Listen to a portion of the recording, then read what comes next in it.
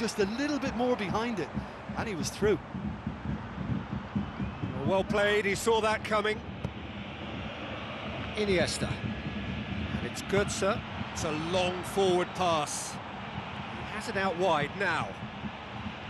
Roberto Carlos pumps it into the area.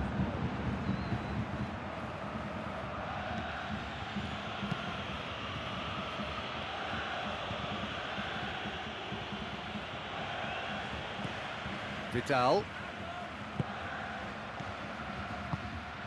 Iniesta with the ball through. Roberto Carlos has been found. It's Robben! They are running riot! And surely that settles it. What about that, Jim Beglin?